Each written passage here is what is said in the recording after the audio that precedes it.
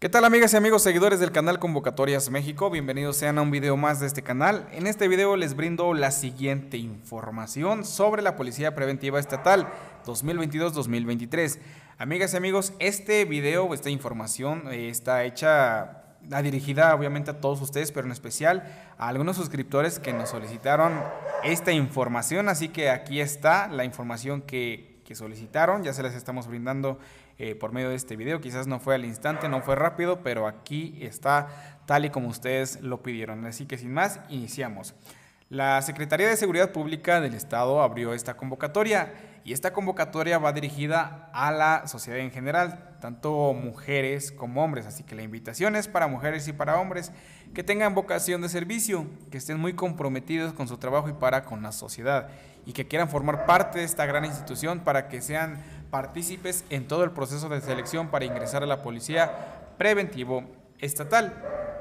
¿Qué te ofrecen al momento de terminar el proceso de reclutamiento y seas seleccionado? Beneficios. Lo primero es un sueldo muy competitivo. Se te ofrecen todas las prestaciones de ley. Será cubierto por un seguro médico por formar parte de esta institución Después de ingresar también se te ofrecerá una constante capacitación profesional, ingresarás al servicio profesional de carrera policial, se van a basar en tu desempeño diario para ver si eres acreedor a estímulos y recompensas. Y en el ámbito profesional se te brindará lo necesario para que sigas desarrollándote profesionalmente. En cuanto a requisitos tenemos lo siguiente, ahora que ya sabes cuáles son los beneficios que de esta corporación te puede llegar a brindar al momento de pertenecer a la misma. Es momento de que sepas cuáles son los requisitos que se te piden para iniciar tu proceso de reclutamiento. Así que aquí te brindo los siguientes. El primer requisito que se pide a los participantes es que deben ser de nacionalidad mexicana sin tener otra ciudadanía. Para el caso del grado de estudios que se pide es el nivel media superior o similares, tener un índice de masa corporal acorde a la estatura hasta 32.0. La edad que se requiere para participar va desde los 18 hasta los 40 años. Deberá de contar con la cartilla de servicio militar, esto para el caso de los hombres solamente, y no estar sujetos a ningún tipo de proceso penal ni tener antecedentes penales por ningún motivo. Y en caso de haber sido servidor público, no deberás eh, sido suspendido ni inhabilitado o destituido o que estés bajo algún proceso por mal actuar en el cargo. No puede ser ningún tipo de adicción a sustancias psicotrópicas, estupefacientes u otras sustancias que provoquen efectos similares. No tener perforaciones que hagan que se vean alterado su físico. Y para el caso de los tatuajes, no debes tener tatuajes que refieran a algún grupo delictivo, que sea ofensivo, denigre o que imite a terceras personas. En general se pide que gocen de muy buena salud para realizar de manera correcta el trabajo que conlleva hacer policía estatal y en caso de tener problemas visuales se permitirá llevar lentes para corregir la visión de los aspirantes. Si tienes problemas auditivos también se permitirá llevar el aparato requerido para resolver este problema. Y a todos los participantes se pide que no sufran de problemas mentales. Todos los participantes que quieran ingresar deben saber conducir vehículos automotores y en caso de no saber estar disposición de aprender, es obligatorio de los aspirantes y participantes someterse y aprobar todos los exámenes de conocimientos psicológicos, médicos, capacidad física y demás que estén establecidos por la corporación. Se deben de aprobar todos los procesos de evaluación de control y confianza y en caso de ser seleccionado deberás tener disponibilidad de tiempo para poder cursar la capacitación en tu totalidad y con obligación de orden y disciplina que debes cumplir.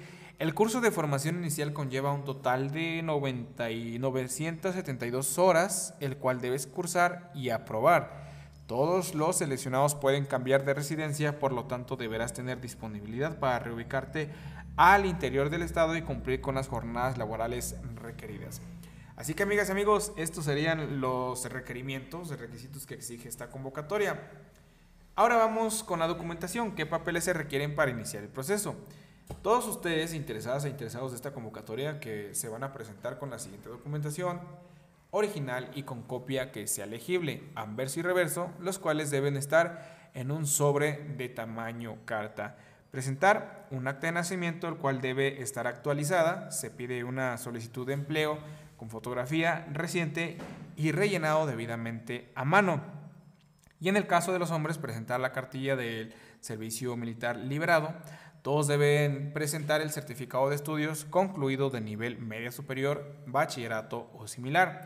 Se te pedirá también una identificación oficial, que es la INE o pasaporte. Si, perteneciste a algún cuerpo de seguridad pública, ejército mexicano u otro, deberás presentar carta de baja voluntaria, presentar CURP. Se pedirá también una licencia de conducir vigente y en caso de contar, bueno, en caso de contar con ella.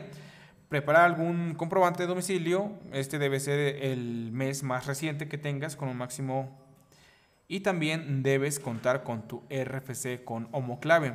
Debes de conseguir tres referencias personales, tres de vecinos y en caso de contar con tres laborales, con los respectivos documentos anexados de las personas que la emiten. Ahora, para el reclutamiento del policía preventivo estatal, y postulación. ¿Dónde debes llevar tus papeles para iniciar el proceso de postulación? El módulo de registro perteneciente a la Dirección General de Planeación Estratégica y Desarrollo Institucional, Dirección del Desarrollo Policial, Área de Reclutamiento. La dirección en la que puedes presentarte es en 10 Poniente 906 Centro Histórico, Puebla, Puebla, código postal 72000.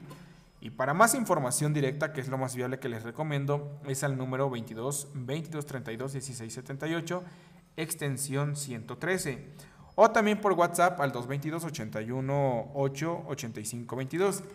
Algo muy importante que quiero comentarles es que podría haber, eh, digamos que quizás el teléfono ya no se encuentre disponible porque lo hayan cambiado o el WhatsApp no estén funcionando. Así que sí les quiero comentar eso. Esta información es este, compartida de la convocatoria oficial. Y para que ustedes puedan ver que esto es completamente verdadero, aquí tenemos lo siguiente. Miren, en observaciones, todos los participantes deberán ser tratados por igual y tendrán las mismas oportunidades durante todo el proceso de reclutamiento y selección. Antes que nada debes de realizar un preregistro en el siguiente enlace, que es el enlace que aquí tenemos, miren, aquí. Al momento de presentarse deben ir desayunados con ropa deportiva, lápiz, goma de borrar y un lapicero, todos sin acompañantes.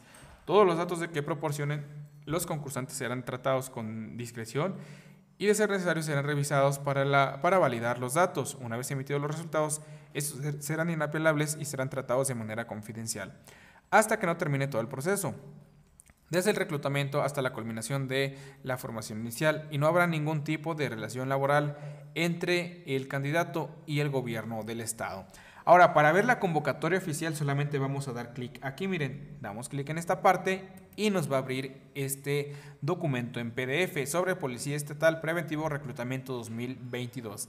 Así que amigas y amigos, miren, aquí está completamente lo que yo les compartí, la información del, del WhatsApp y el número telefónico. De esta manera eh, aquí les estoy compartiendo que es completamente verdadero lo que les estoy brindando. Aquí está el correo electrónico también si ustedes quieren comunicarse.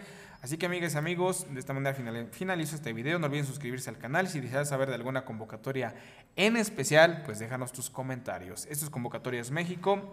Y no olvides dejarnos tus comentarios, apoyarnos con tu manita arriba. Hasta pronto y nos vemos en el siguiente video.